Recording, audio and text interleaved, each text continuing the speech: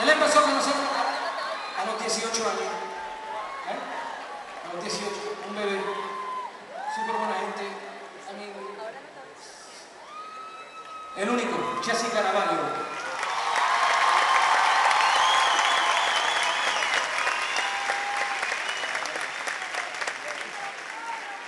Ya.